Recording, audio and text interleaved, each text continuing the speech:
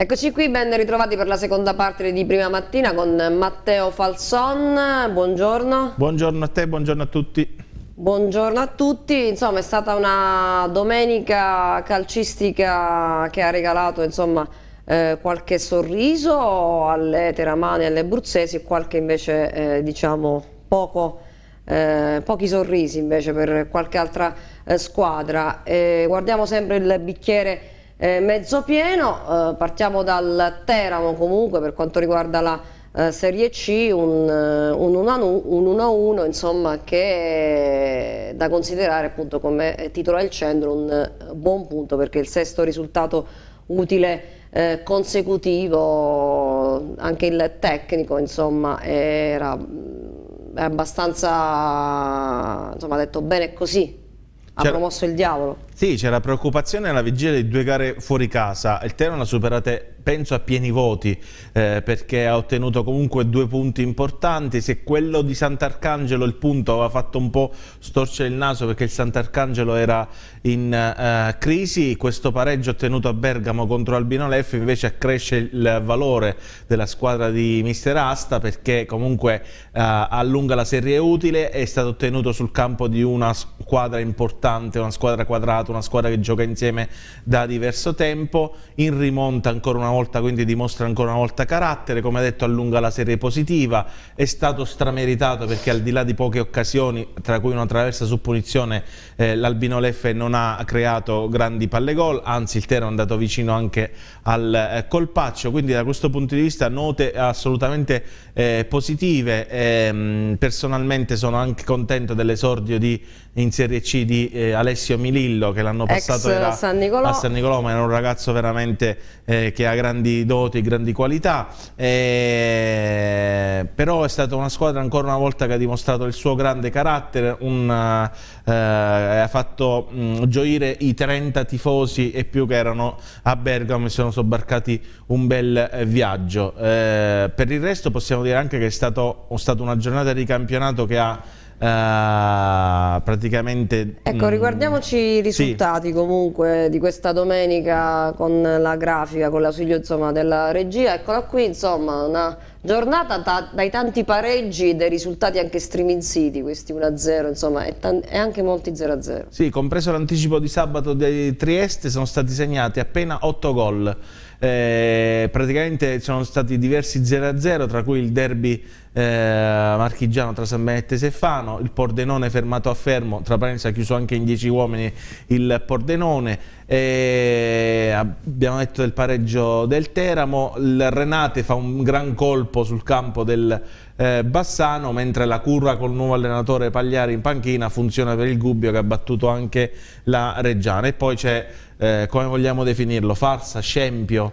eh, il caso Modena che non ha giocato neanche ieri e a questo punto di fatto abbandona il campionato che torna a essere a numero pari perché eh, è la terza volta che non è... gioca, quindi di fatto c'è l'esclusione. Di regolamento dovrebbe esserci l'esclusione. Domenica scorsa si era, si era ovviato con una decisione da parte della federazione la gara di Fano, ma certo. questa volta credo che non ci siano appigli. Guardiamo anche cui... la classifica, eh, guardiamo anche la classifica di Serie C perché a questo punto il Padova tra l'altro è virtualmente, virtualmente primo con questi insomma, tre punti che comunque arriveranno a tavolino.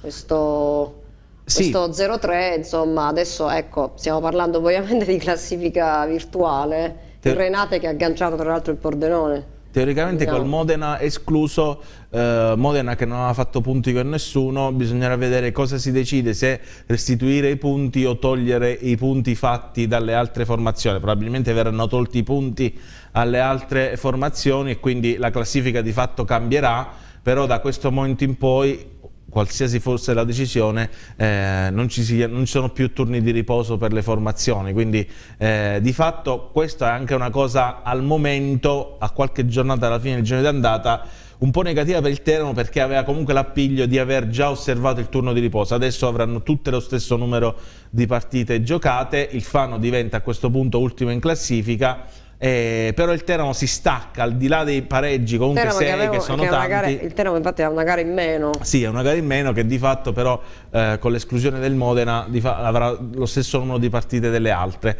Eh, però anche le altre squadre che hanno vinto col Modena, mi viene in mente per esempio la Reggiana, da 9 scende a 6, quindi eh, è comunque una, una, quotazione buona, importante per il Teramo in classifica, si trova sempre lì a ridosso magari della zona playout, però è anche una squadra che ha perso solamente due volte, vediamo un po' il, da questa grafica è perfetta che si può vedere che il Teramo è una squadra che ha perso di meno delle squadre che sono in basso in classifica, eh, ha pareggiato pareggi, tantissimo, pareggi, però tanti. il pareggio muove sempre la classifica e quindi è un buon risultato. Eh, domenica prossima la C infatti è un campionato che non torna in campo mercoledì, ma la domenica prossima c'è una gara importante col Sud C'è una gara importante col Sud ne parliamo tra poco, ci andiamo a sentire invece Asta, un'asta insomma che eh, comunque guarda sempre il bicchiere eh, mezzo pieno, come è giusto eh, che sia, abbiamo detto giornata in chiaroscuro eh, e in fondo insomma un 1-1 eh, che eh, ci sta ed è un buon punto, guardiamoci l'intervista. Eh, speravo che durasse di più ottobre, non lo so, cerchiamo di... No, effettivamente analisi giusta, brutto primo tempo, il primo tempo di una squadra nostra mm, eh, uscivamo male, ecco, uscivamo male, l'avevamo preparato in un certo modo, sapevamo la qualità loro di palleggio e, e l'hanno messa in pratica totalmente, però siamo usciti molto male con i due attaccanti, anche con i centrocampisti, i due esterni nostri si sono fatti schiacciare molto sia da Gelli che da Gonzi, quindi hanno preso molto campo e noi non, appena conquistavamo palla, loro erano numerosi in zona palla, non siamo riusciti a fraseggiare, quindi un brutto primo tempo, anche se brutto primo tempo c'è stato un loro bellissimo gol su punizione, avevamo avuto subito una palla clamorosa con Barbuti a tu per tu e un'altra palla filtrante, loro predominio netto ma di occasioni insomma clamorose no, ecco, è stata quella punizione battuta bene. Secondo tempo un'altra, un'altra storia, ma non un'altra storia totalmente diversa, perché non è che abbiamo fatto benissimo, eh, però sicuramente un altro, un altro piglio forse loro si sono abbassati un pochino, riuscivamo a ripartire un po' di più e credo che insomma poi a parte il gol di Barbuti è stato bellissimo, abbiamo avuto quasi per assurdo una palla clamorosa a gol di vincere la gara, forse sarebbe stata eccessiva, però l'abbiamo, l'abbiamo avuta, ecco. poi loro avevano questa supremazia, però siamo stati bravi, eh, eh, poi ho cambiato subito sistema, 4-2-4, poi 5 ancora 5. Che ha aumentato il potenziale eh, offensivo nella forza, ripresa, per, giocando addirittura con 4 attaccanti. Per forza, dovevo cambiare qualcosa perché non era la giornata brillantissima, quindi portare a casa un pari qua a Bergamo, che ripeto, una squadra che gioca a calcio molto bene, forse non era il miglior Albino F perché sennò altrimenti oggi eh, riuscivi da qua con una, con una, sconfitta, però il pari va bene, portiamo a 6 che per noi è, è, è tantissimo di risultati positivi e, e andiamo, andiamo, avanti così, sono contento, soddisfatto della, di quello che ci mettono i ragazzi, è logico che io l'ho detto anche prima della gara e lo ripeto, siamo una squadra che non ha grandi palleggiatori, quindi se non ci metti l'aggressività, le, le ripartenze immediate come, come oggi potrai fare fatica anche in futuro. Ecco, andiamo sui singoli, la prestazione di Tulli è ancora incerta.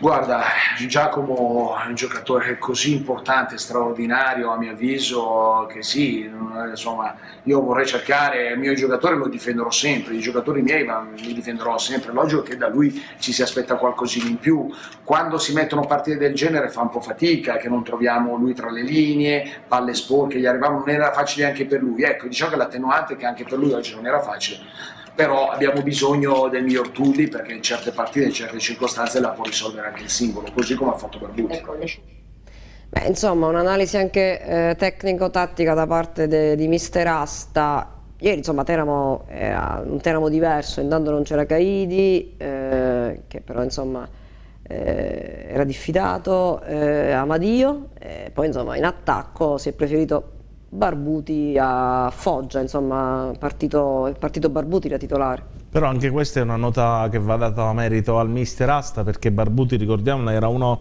eh, degli epurati del Teramo del mercato estivo, è stato rimesso in rosa e sta eh, dimostrando il valore. Ricordiamoci, Barbuti l'anno passato di fatto non vedeva mai la porta, quest'anno è già al secondo gol se non vado errato. Quindi da questo punto di vista è un merito del mister che lo ha, rivalutato, lo ha rivalutato, lo ha rivitalizzato, dandogli fiducia. Ieri è partito dal primo minuto, eh, quindi, anzi no, è entrato nel, in corso d'opera. Quindi eh, sicuramente eh, questo è un giocatore che è molto importante al Teramo perché magari sopperisce all'assenza all o comunque alla uh, sterilità in questo momento di eh, Foggia. Eh, poi l'intervista che abbiamo sentito ha dato altro spunto importante, eh, ovvero Tulli. Tulli è un giocatore importante per il Teramo che magari in questo momento non sta convincendo appieno anche perché alcune partite sono un po' di sacrificio rispetto al gioco che preferisce Tulli, però Tulli è un giocatore importante e se Tulli iniziasse a dare il suo apporto alla causa devo dire che il Teramo può fare quel salto di qualità che magari giusto per allontanarsi da quella zona perché non merita di stare in quella zona per le prestazioni che sta offrendo la squadra. Velocemente il prossimo turno di Serie eh, C, insomma abbiamo detto Teramo eh, torna dopo due trasferte consecutive a giocare in casa e insomma sarà una gara tosta contro il Sud Sì, si gioca intanto regolarmente domenica, non mercoledì, domenica, eh. poi i campionati che Serie non scende... C non, non, ci sarà il turno in presettimanale. In campo mercoledì, però il Sud Tirol è una squadra da non sottovalutare assolutamente, eh, ieri per esempio ha battuto il Vicenza, è una squadra quadrata, la, una squadra che può dar fastidio, una squadra che comunque gioca a, pal a pallone, eh, praticamente il, e poi c'è un attaccante che viene dalla D, dalla Vispesero in particolar modo, ma ha giocato a Pineto e a San Nicolò come Rocco Costantino, che è un giocatore che eh, sta facendo bene al primo anno di C, si sta comportando veramente eh, bene, quindi è un, un giocatore da uh, attenzionare in particolar modo. C'è un grande incontro che è Pordenone Triostina al di là della classifica, eh, ci sono altre gare importanti tipo Vicenza San Benettese, Feralpi Salopadova, è un turno interessante ma il Teramo dopo eh, con il ritorno al Bonolis deve cercare di tornare anche alla vittoria. E fare tre punti. Bene, noi dalla Serie C passiamo a parlare di Serie D eh, Girone F, di questa Altra sconfitta per la Virtus eh, San Nicolò in esterna all'Aquila. Ieri, tra l'altro una sconfitta maturata anche in superiorità numerica, davvero un San Nicolò ormai sempre più in crisi, eccola qui intanto vediamo la, la giornata, il, mm, il, turno di ieri, insomma questa nona eh, giornata che ha visto invece un Avezzano anche molto roboante, ormai quarta vittoria consecutiva e una Vastese anche sempre più eh, schiacciasassi, quinta vittoria invece per gli uomini di Colavitto. Eh, Matteo. Sì, eh, rispetto alle altre settimane possiamo dire che in questa giornata il campionato di Serie D ha registrato sette vittorie interne quasi bottino pieno, di fatto non c'è stata solo la vittoria del San Marino che ha pareggiato e quella della Jesina che ha perso in casa. Non ci sono stati pareggi, eh, quindi la classifica si è mossa parecchio con tanti eh, punti conquistati dalle formazioni. Per quanto riguarda la Virtus San Nicolò, eh, una brutta sconfitta, soprattutto perché è ottenuta sul campo dell'Aquila che allora, partiamo dal presupposto che l'Aquila è al di là dei problemi societari che sta affrontando un buonissimo organico.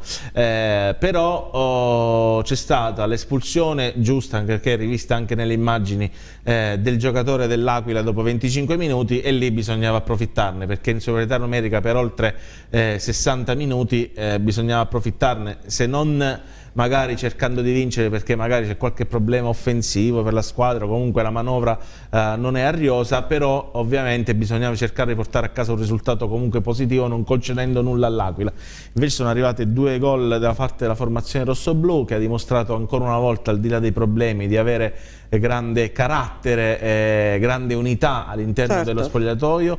Eh, per la Virtus San Nicolò poi quando piove grandina in questo periodo perché c'è anche da registrare l'infortunio di Mozzoni allo zigomo, probabilmente eh, se ne passerà diverso tempo per lui. Quindi da questo Con il portiere vista... Gori, tra l'altro, il portiere titolare che non... Gori è prossimo al rientro, sabato ha giocato ecco. con la formazione juniores. Quindi già una buona notizia sì. perché rientrerà il portiere titolare da, insomma, da diverse settimane, in pratica manca dalla, se non sbaglio, dalla seconda o dalla terza. Dalla prima giornata, dalla prima giornata contro Agnonese. Colgo l'occasione, tra parentesi, perché le migliori note per la Virtus San Nicolò arrivano dal settore giovanile, al di là dei risultati in sé per sé delle formazioni allievi e giovanissimi, ma dal fatto che Uh, dopo uh, l'anno passato di Stefano classe 2000, Fabriani 2001, ieri ha esordito il portiere del settore giovanile biancazzurro Davide Dostiglio classe 2000 che ha ben figurato certo. al campo dell'Aquila. Andiamoci a vedere eh, comunque mh, mm, il servizio che riguarda l'Aquila Virtus eh, San Nicolò, rientreremo per vedere un attimo la classifica, insomma poi ci sarà anche lo spazio per la palla a mano anche questa mattina con Andrea Di Marcello.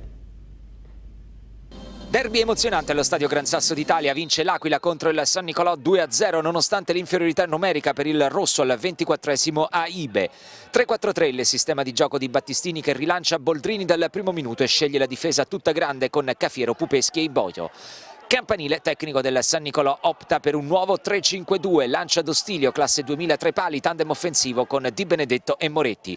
Contestata la direzione arbitrale di Ilaria Bianchini di Terni. Mandiamo in cronaca con le immagini di Donatello Ricci, minuto 9, Sieno fa tutto da solo, salta Andiaie e punta la porta ma calcia out da buona posizione. Proteste aquilane al minuto 21, Sieno in becca Marra che a porta vuota viene contratto da dietro, il rigore appare solare, Bianchini fa continuare. Al ventiquattresimo l'episodio che potrebbe cambiare la gara. Lontano dal pallone Ibe colpisce un avversario, lo vede l'assistente che segnala al direttore di gara, rosso diretto e l'Aquila in 10.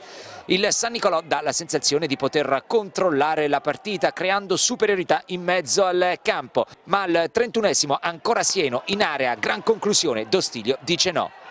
34esimo si fa vedere il San Nicolò con il destro di Di Benedetto, la palla termina alto. Al 36esimo altre proteste aquilane, palla persa da Brenci ma con un fallo che appare evidente. Il direttore di gara fa continuare sulla transizione di Benedetto di testa, conclude al lato.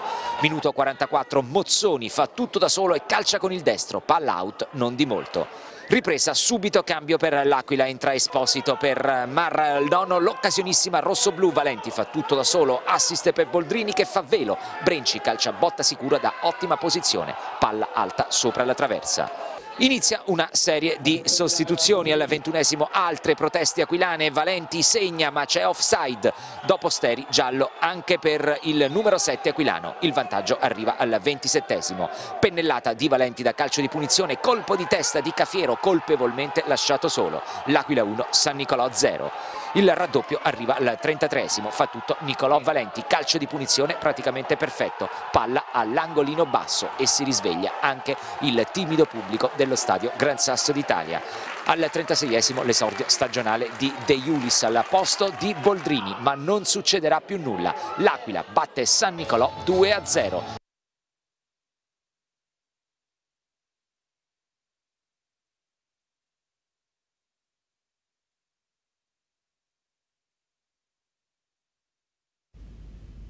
Eccoci qui, ben rientrati dopo il servizio e intanto salutiamo Andrea Di Marcello, buongiorno, ben rivisto, buongiorno, buongiorno eh, per lo spazio a palla a mano, intanto vabbè non ha giocato insomma questo fine settimana la Lions, adesso ne parleremo, rimanendo in tema Serie D invece Matteo, abbiamo visto il servizio, eh, insomma tu hai visto anche la partita quindi eh, le colpe di questo, cosa non sta funzionando in questo San Nicolò al di là di quello che dice mister Campanile che gli aveva dato merito comunque di difendere la squadra fino alla fine. Ma, ehm, manca la giusta attenzione, la cattiveria, cioè ieri eh, è stato forse l'emblema perché eh, abbiamo visto l'Aquila in 10 dal 25 del primo tempo, giustamente perché è stato il colpo dato dal giocatore a Tersini, eh, non si è riusciti a approfittarne, anzi le migliori occasioni di fatto le ha avute eh, l'Aquila al di là dei due gol che è una squadra in superiorità numerica non deve prenderli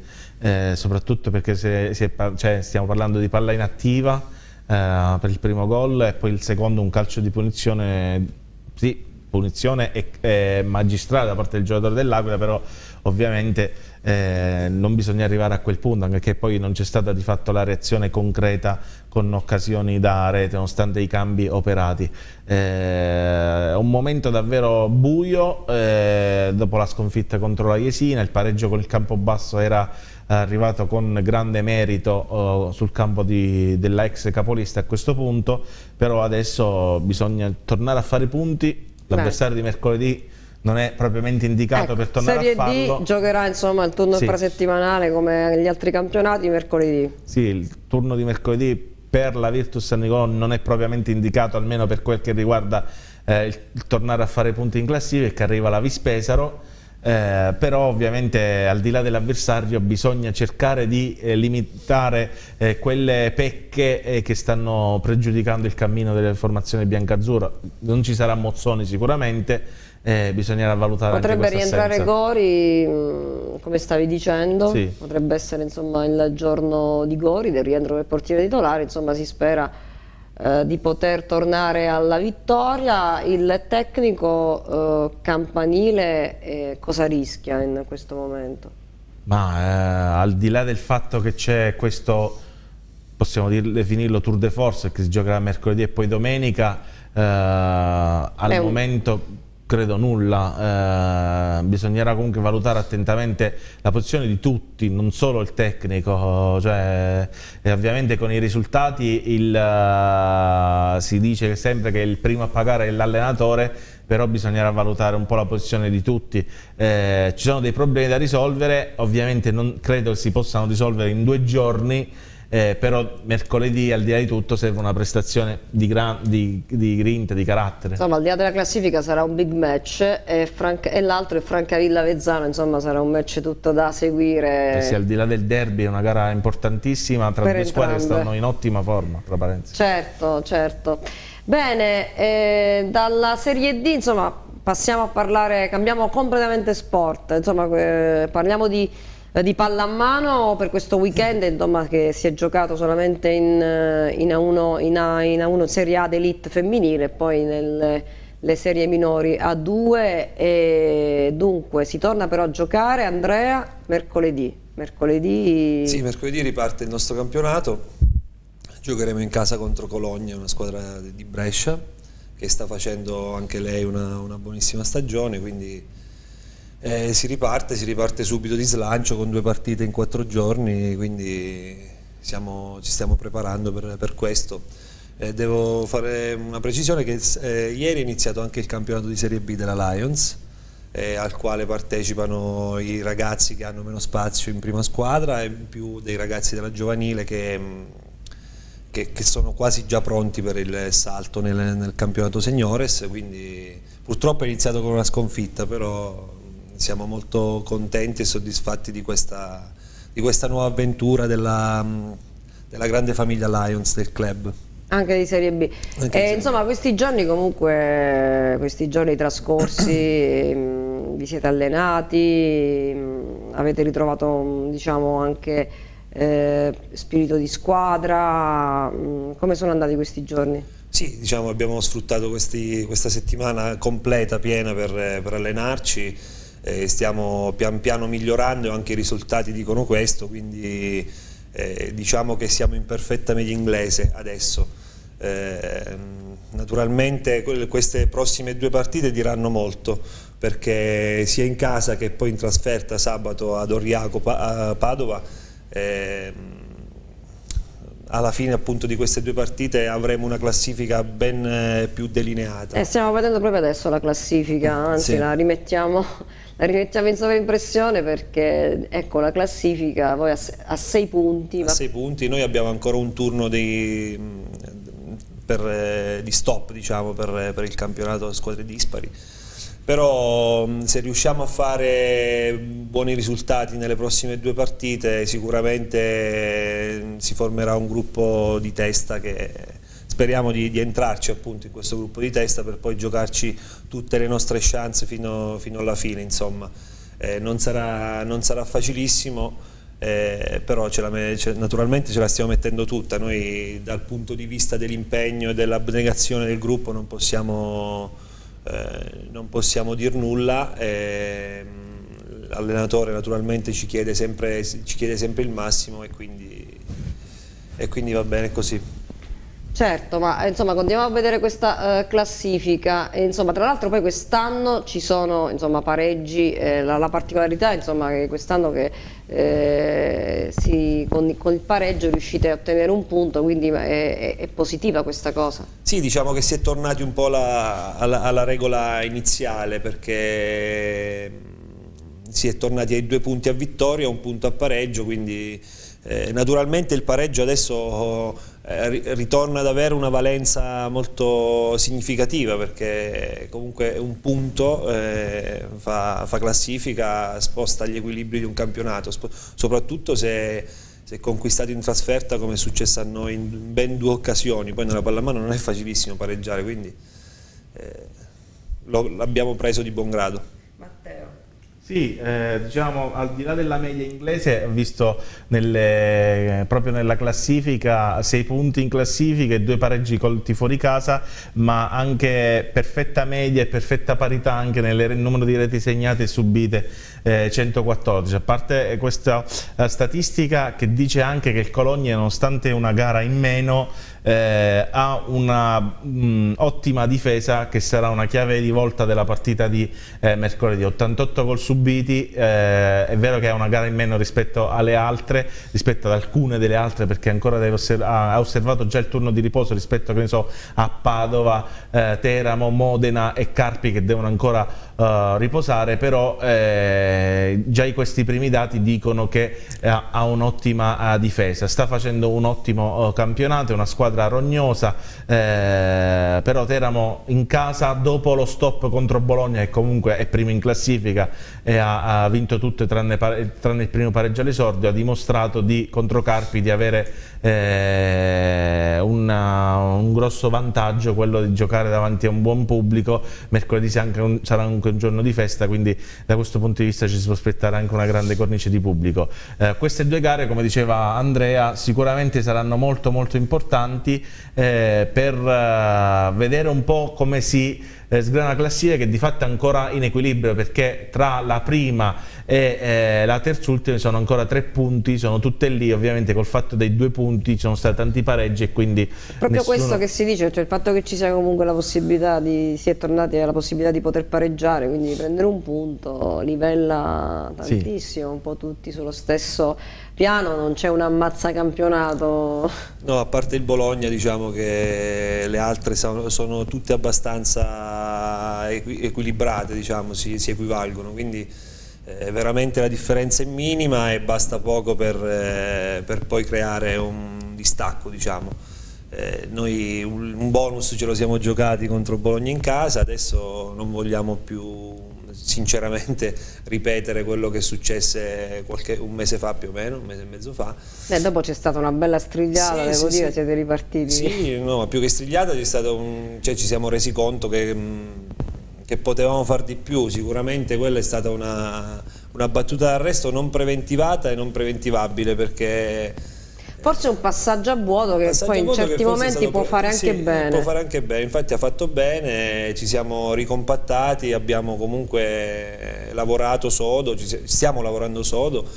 E, ehm, ripeto, l'abnegazione del gruppo non si discute perché veramente siamo, la scuola è formata da quasi tutti teramani, con qualche ragazzo di, comunque abruzzese, sempre abruzzese, quindi eh, tiene molto a questa maglia, tiene molto a questa, a questa città. E, veramente ci alleniamo eh, in maniera molto dura e molto soda con Marcello che è, molto, è noto per, queste, per, questo tipo di allenamento, quindi eh, stiamo, eh sì. stiamo, stiamo, facendo tutto quello che, che, lui ci chiede e i risultati infatti stanno iniziando certo. ad arrivare. Ma che obiettivi comunque man mano che passano le giornate, che obiettivi pensate di potervi porre? Poi lo chiedo anche a Matteo che comunque sia da, insomma, da esperto. Guarda, eh, in cuor nostro abbiamo un obiettivo che è quello di, di arrivare tra le prime due. Sappiamo che non è, facilissimo perché comunque la squadra nostra, a discapito di qualche, di qualche elemento, tipo me, è una squadra molto giovane e, ehm, e ha la prima esperienza in un campionato che seppur si è livellato un po' negli ultimi anni è sempre un campionato di Serie A, di Serie A1, quindi eh, può succedere come è successo col Bologna che um, si sente di più la partita, quindi eh, facciamo anche conto, i conti con queste situazioni.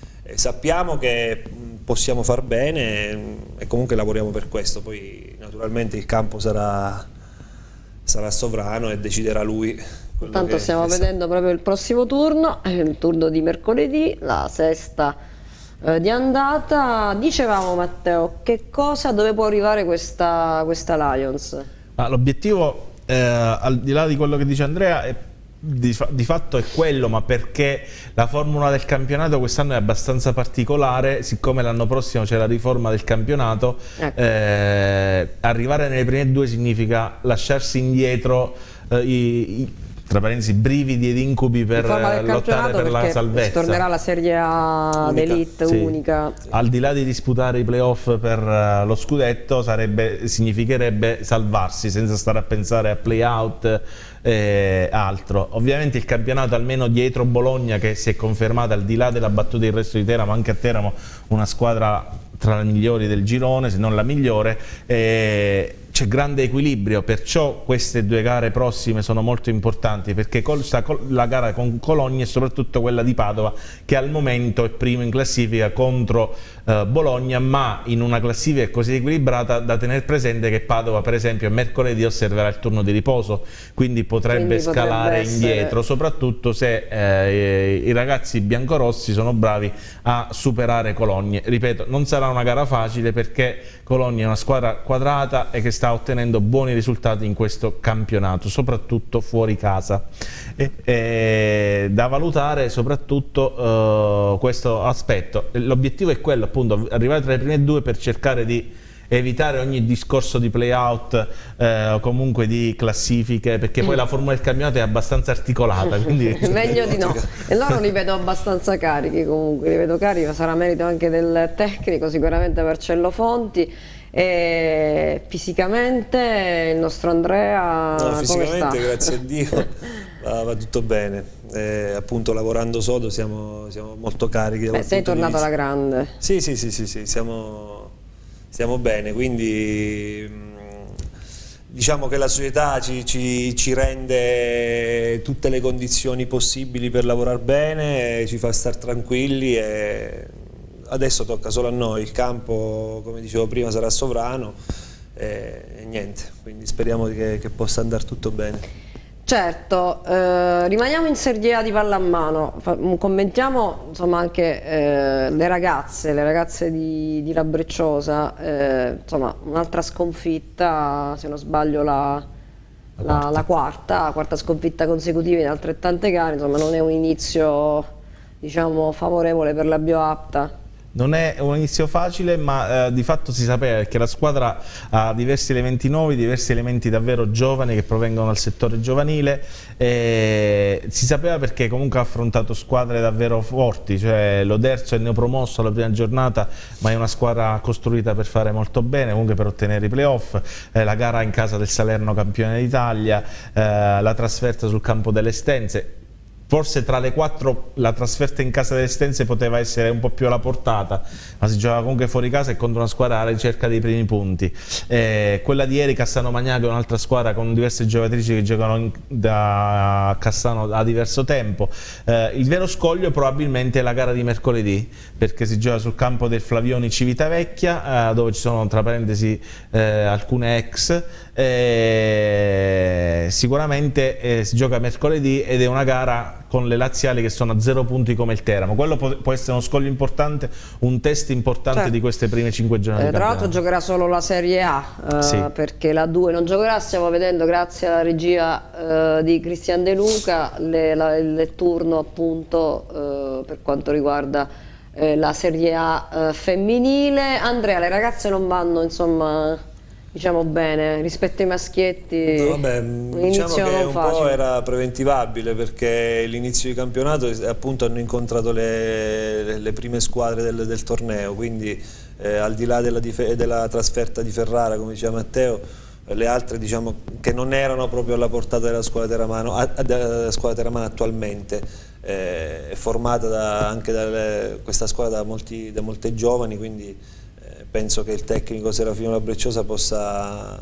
possa trarre giovamento da queste battute d'arresto iniziali per poi iniziare il vero campionato che, sarà, che inizierà appunto da mercoledì eh, che la, speriamo li porterà alla salvezza o quantomeno un campionato tranquillo. Bene, Matteo, un flash sulla 2? Sì, eh, sono arrivate eh, due vittorie in campo maschile, due sconfitte in campo femminile. Eh, in campo maschile vince Città Sant'Angelo, ma soprattutto la NHC Proger Teramo. Eh, tra parentesi, con l'innesto arrivato in settimana di un giocatore che Andrea conosce benissimo come Matteo Di Sabatino, che sicuramente è un giocatore importante nello scacchiere della squadra di Franco Chiong. Una vittoria netta contro la Lazio e primi due punti in classifica dopo la sconfitta di Manfredo. Macedonia. In campo femminile invece eh, secca sconfitta per il Guardiagrele sul campo del eh, Mugello. Ma la notizia è? Ma la notizia è che la, il team Teramo è sceso in campo dopo due gare non disputate eh, e ha giocato anche una buona partita perché ha perso eh, sul campo del Cingoli dopo un ottimo primo tempo, ha perso nel finale ovviamente perché la condizione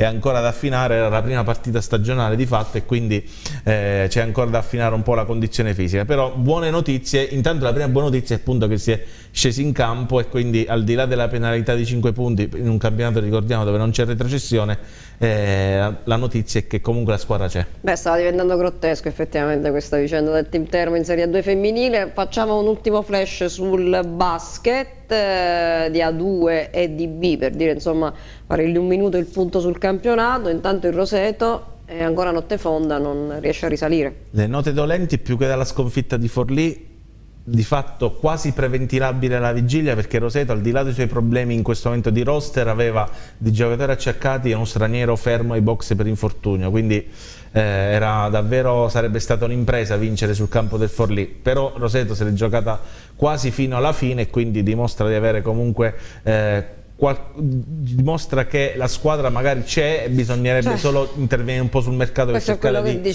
trovare i giusti equilibri. La notizia brutta è che Bergamo, che fino a prima della gara di ieri divideva l'ultimo posto in classifica con Roseto, ha vinto fuori casa e quindi adesso Roseto è ultimo in classifica da solo. Certo. Eh, questa è una brutta notizia anche perché vederlo ultimo in classifica da solo a zero punti non è ehm, sicuramente una bella cosa. Per quanto riguarda la B invece, seconda sconfitta consecutiva del Giulianova, si è un po' frenata questa Etomilu, però insomma Campri e Teramo volano.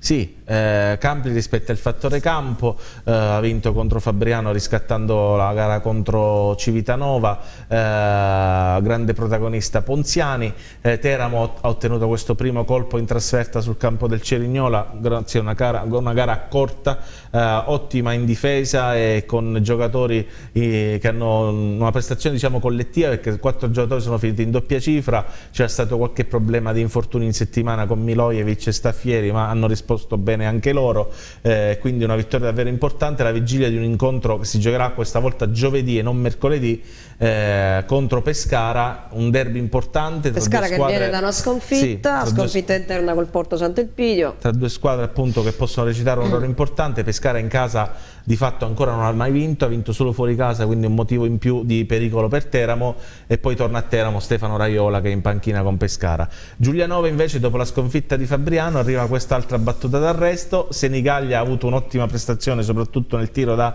eh, tre punti e ha avuto eh, sin da subito messo in difficoltà Giulianova che ha avuto delle eh, battute a vuoto soprattutto al tiro. Di fatto si è ripetuto un po' almeno per percentuali la gara ad esordio contro Teramo solo che questa volta è mancato il rush finale eh, contro oh, quello che avvenne contro Teramo perché Senigallia di fatto ha tenuto alta la concentrazione per tutta la durata dell'incontro penso che siano solo due passaggi a voto e non un uh, momento negativo più che altro eh, per Giulianova che comunque mercoledì è attesa da un derby eh, ad Ortona. Esatto, ricordiamo che anche il basket eh, giocherà il turno infrasettimanale. Però mentre Giulianova ad Ortona e Campli e Recanati giocheranno mercoledì, a Teramo Basket Amatori Pescara si giocherà giovedì sera al Palace Capriano. Bene, grazie a Matteo Falsone. Grazie. Tanto per non avere la concomitanza con tutti gli sport. Eh sì, av avremo comunque sì, perché anche la Lions che giocherà alle 18, se non sbaglio, 18 e 30. E quindi io ringrazio Matteo Falsone, ringrazio Andrea Di Marcello gli, e gli rinnovo gli in bocca al lupo per la gara di eh, mercoledì e noi invece ci ritroveremo con Di Prima Mattina domani per un nuovo appuntamento. Arrivederci.